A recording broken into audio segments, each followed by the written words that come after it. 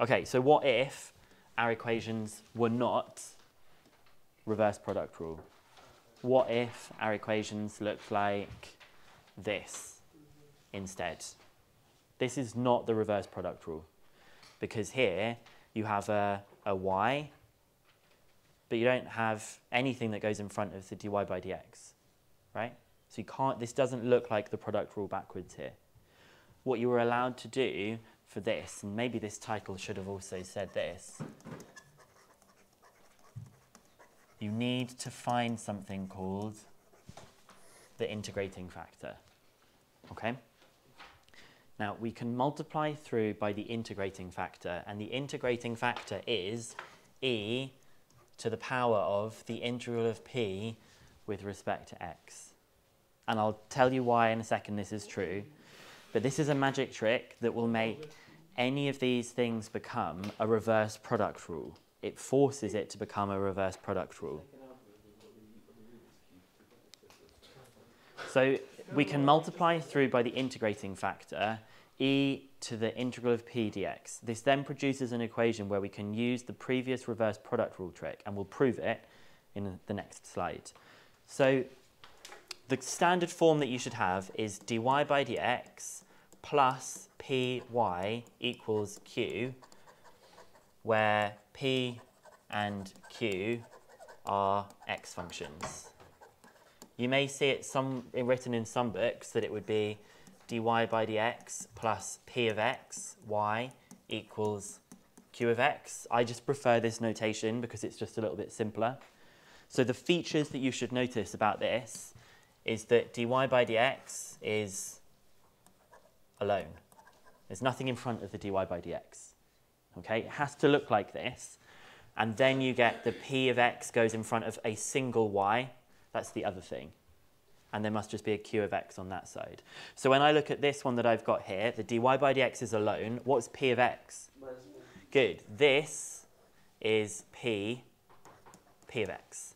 And this is q of x. Now, although this isn't a function of x, it is a function of x because it's just a constant. So my integrating factor is e to the integral of minus 4 dx, which is e to the minus 4x. We don't need to worry about plus e's or anything here.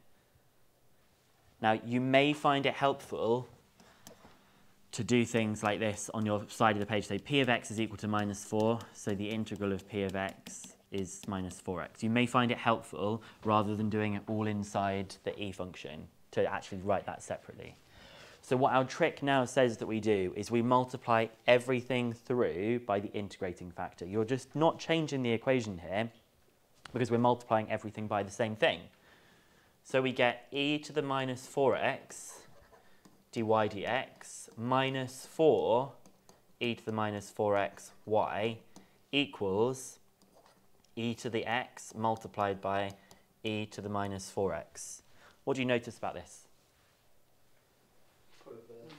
it's the reverse product rule because the derivative of e to the minus 4x is minus 4 e to the minus 4x, and the derivative of y is dy by dx. So the left-hand side is the derivative of what? Y e to the minus 4x, and the right-hand side that we have still here is e to the minus 3x. Okay?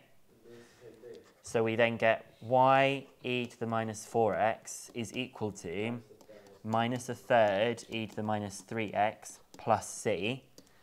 So y equals um, minus, minus a third e to the plus c e to the 4x.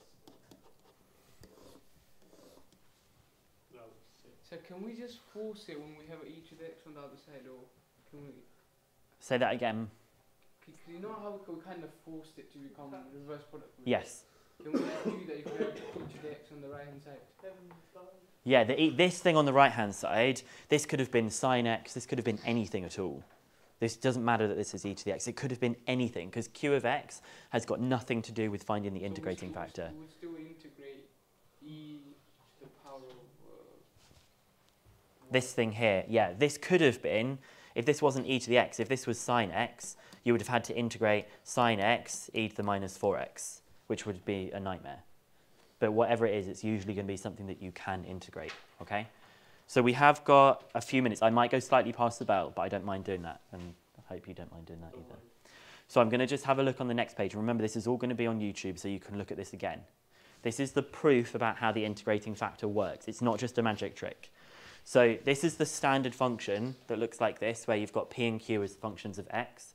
Now we're supposing that there is f of x is the integrating factor. We're just pretending, let's say that there is an integra integrating factor called f of x, and we're just going to do what we would do previously, which was multiply everything by f of x that we've got like this. Now, if we can use the reverse product rule trick on the left-hand side, then it would have to be of the form f of x dy dx plus f dash x y. Okay, this is what it would be like. If this is what it was, we would say that this was the derivative of f of x, y. Now, by comparing these things that we've got here, we can see that this thing and this thing are equal to each other. But the y's we can ignore, so we get that f dash x from this one is equal to f of x p. When we rearrange this by dividing by f of x and integrate, the, we get that f dash x over f of x integrates to ln of f of x. Why does it integrate to ln of f of x? Because that's the derivative of the denominator. So it's a reverse chain rule there. And then the other side is just the integral of e to the x. And then you rearrange it with an ln by saying that f of x is e to the integral of p with respect to x. So it works, okay? This is why the integrating factor works. We've got just about enough time for me to do an example. So you can read through this again if you need to read through this. But we're going to do something... I hope it's not been too fast, but I, I, you can handle this. I know you can handle this. So this is, what about if there's something in front of the dy by dx? Well, we said our general form that it works for is dy dx plus py equals q. There is nothing in front of the dy by dx. I said that on this page here when I said dy by dx has got to be alone and there's got to be a single y here for this to be able to work, okay?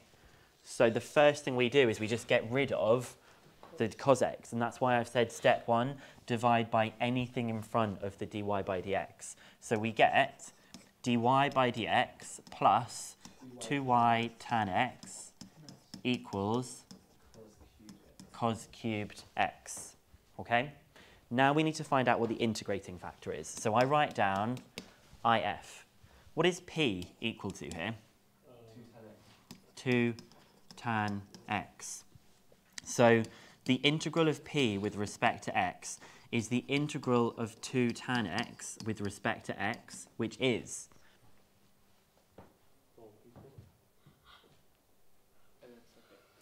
ln sec x. So it's going to be 2 ln sec x. You find that in the formula book, that the, tan integrates to ln sec x. Now, the integrating factor is e to the integral of p dx, which is e to the 2 ln sec x, which is just sec squared x. So we were thinking, oh, we're always going to have to multiply by e. We don't have to multiply by e, because e to the ln is going to give us something. So we're going to multiply everything by sec squared x. We get sec squared x dy dx plus 2 tan x sec squared x y equals cos cubed x times sec squared x, which is cos x, which is just cos x. So we've multiplied through by the integrating factor, and now we want to see that this is a reverse chain rule. Is this the reverse chain rule on the left? Yeah, because y goes to that. Because the y goes to dy dx and sec squared goes to 2 tan x sec x with the sec x there. So you get d by dx sec squared x, oh, with the y, I'm going to put the y inside the front there, equals cos x. So you get y sec squared x equals the integral of cos x, yeah, I'm just taking it a little bit slow. y sec squared x equals sine x plus c. So y equals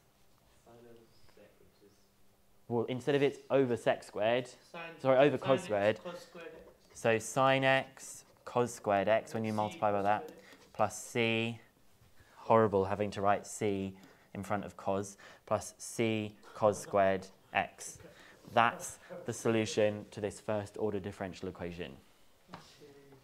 Okay, so I'm only gonna, I'm not gonna set you loads of questions on this, but I needed you to see this now so that you can watch the video again and you can do some practice for me for Friday so that Friday's lesson, we can actually spend the lesson like productively doing hard, hard questions. But it's really cool, isn't it?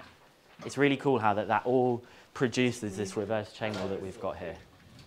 Did you always wear an earring? Yeah, I've always had an earring. Why did I just have I don't know.